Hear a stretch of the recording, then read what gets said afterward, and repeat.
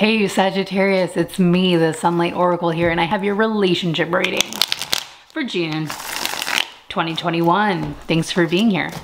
The way that this works, my friends, is that I need you to think of a person. You're that person and they're that person. We're already jumping right in here. But think of a person, go with the first person that comes to mind. Don't try to change it and trust that the messages I channel for you here today are relevant to the dynamic of this said relationship. Okay? Interesting. Huh, okay. Um, also, while you're here, please like, subscribe, share with a friend. This is a tiny YouTube channel, but we do big, deep readings. If you like that, if you like to go deep, um, this is a great channel for you. And the best way to support me in doing the free work that I do is by subscribing. So thanks a lot for being here and let's go ahead and jump in. What we get for you here, my friend, is you are represented as the Six of Swords and they are the Knight of Swords. Mm-hmm. Okay. So for you, my friend, I feel like you're kind of in an in-between state. You're feeling like you're in between worlds, like things things are always working out for you, Sag. Like you know that. You you have kind of this lucky streak to you that I think you are aware of and grateful for. But there there is this sense when you're so lucky and you feel it all the time that you could be lacking something else. You could be lacking stability, you could be lacking fairness, you could be lacking creativity, but you're starting to learn that you can fill those voids yourself. You don't have to wait for anything and I feel like you're you're exiting this phase of waiting and you're entering this phase of being. Okay? It's it's been a long journey for you to realize that. Sagittarius or to come to terms with that. And this person over here that you are thinking about in this relationship reading is represented by the Knight of Swords. Mm-hmm. I feel like while you are practicing patience, while patience has become a way of life for you, this person is kind of struggling with that. This person is ready to go to battle at a moment's notice um, with you or with anyone who is around them. And I feel like that is what sort of creates a little bit of tension. It's nothing that is unmanageable or can't be overcome in this relationship. Um, because I feel like again, you're both, you both have similar interests. You're both on the same page. You both actually love each other, love the same things. It's just, in your spiritual and emotional development and growth, you are in a state of acceptance and they are in a state of maybe panic, to be honest. And panic might be too hard of harsh of a term, but rather like they're in a reactive state and you're actually in a very uh, quite the opposite, like meditative. Um, like I said, you're you're accepting the state of the between worlds that you're feeling. They're not vibing with that as much, you know.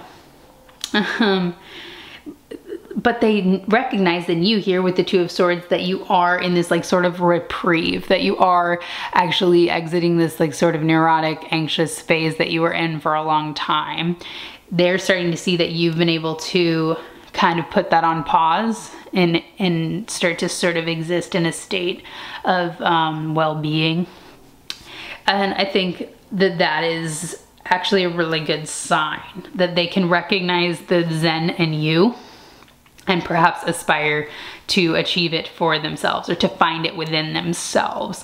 You're a good influence on this person is the way to really like cap this together. Um, and their influence on you is represented by the Hierophant here. And I see this is um, neither a bad or a good thing. Nothing is good, nothing is bad, it just is, right? And that this person's influence on you is actually strengthening the foundation that you have in your spiritual life. Mm -hmm. I feel like this is actually a really important message for you as I'm getting some ringing in my ears as I say this, uh, so tune into that. But there's something here that whether it's direct or indirect, conscious or subconscious, this person is sort of building you up in a way that this relationship on the very surface level might be have some conflict, have some impatience, but on the foundational level, it's super solid and mutually beneficial. Okay, maybe you already know that. I don't think I'm telling you anything you don't know.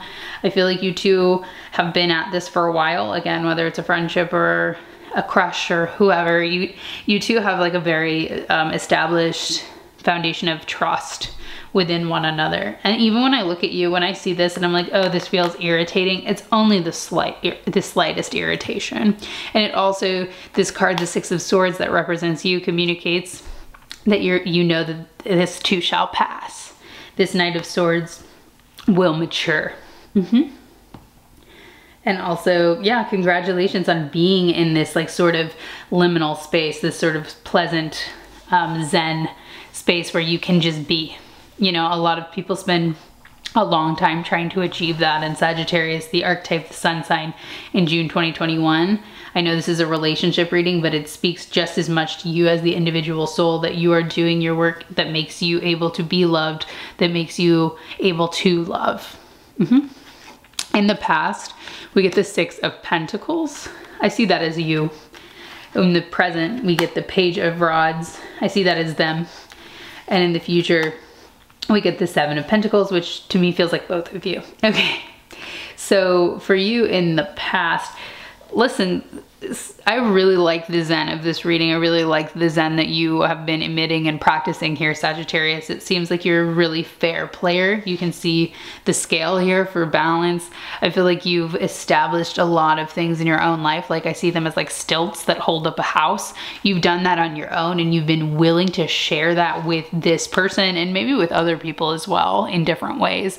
But it feels like your foundation is like as a human um, is full of being a giver okay? And i don't even see this as a a bad thing. You have this sort of compassion and this patience for this person who hasn't again learned the patience hasn't found the zen.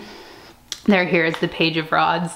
And they so desperately want to uh, appease you want to please you sagittarius because you're you're attractive, you're appealing, this this zen state that you've achieved, like you're going to be a magnet for people, right? People want to be around you, this person included, and they want to impress you and they want your approval and they want their, they don't want to be dragged by their passions anymore. They want to be seen by you for their passions. It's clear to me as your humble tarot guide that you do see them for their passions and that you do love them for their passions but that there just needs to be an element of spiritual growth on their behalf so that you two can meet in the middle or even meet above up in the Zen world that you're kind of existing in right now. I see that that's going to take work here with the Seven of Pentacles. And it's not your work to do. Your work to do is to remain patient, is to be Zen is to be you and trust yourself, which you're already doing. And I just want to be a big cheerleader for you to continue to do that. For them, their work is a little bit more tangible. It's a little bit more literal. There would be books they could read, right? like for you, I don't really feel like there are books for you to read on how to be patient or whatever but for them it's like there are all kinds of instructions in this world of how to become you know more aligned with the self you're already aligned with yourself so just wait up. Time isn't real anyway, right? Um, I feel like you know all these things already. So with the Seven of Pentacles, it's going to be a group effort, but the effort is more passive on your part and more active on their part. I really feel like this relationship is meant to be. I really feel like you both are subconsciously learning really big lessons from one another, even if it feels like you actually aren't. It feels like you're kind of wearing the pants here, you're in control you are, you know, the, the voice of reason. Trust that you are learning from this person. Trust that they do love you. And trust that um, you know, relationships are hard and people on YouTube want to come for readings that, you know, give, inspire hope and all of that. And I hope to do that, right, as a tarot guide, but it's also to really point out the thorniness of life sometimes and how um, imperfect life is. And when we lay all the cards out on the table, we can sometimes see it more of a path to clarity. So that's a little side note from me getting me all emotional looking at this. Um, I think it's a beautiful relationship, honestly. Okay, Sag, what's the outcome? Oh my gosh, six of rods, success, achievement, etc., etc.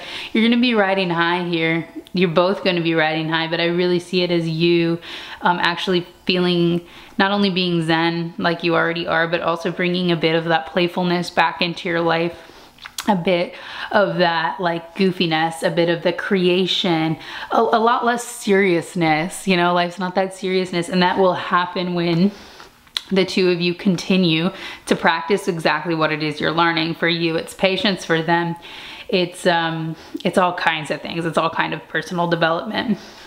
But you, um, I feel like this happened in a reading this year for you as well, which is you don't have to instruct this person on how to live. You just have to be the way. Don't tell the way, be the way. And uh, you're doing a great job of that. And I just want to encourage you to keep doing it because the outcome is just glorious.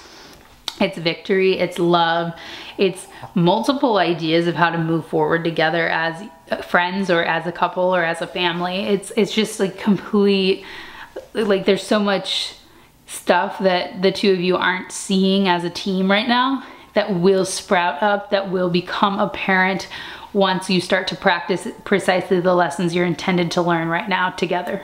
I feel like this is such a cool and lovely relationship. And if it resonates, please let me know in the comments below. I really appreciate you still being here, sticking out this reading. I thought it was awesome. And let me know what you think, okay? I will see y'all.